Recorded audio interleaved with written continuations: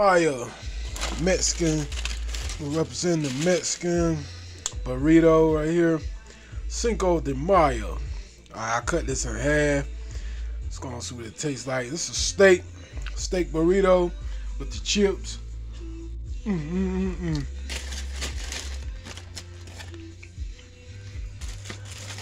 This is good. Chip. Mm. Got your sour cream.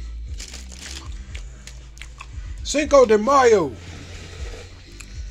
Right? Representing Mexican Day. Stop playing with him. Stop playing with him.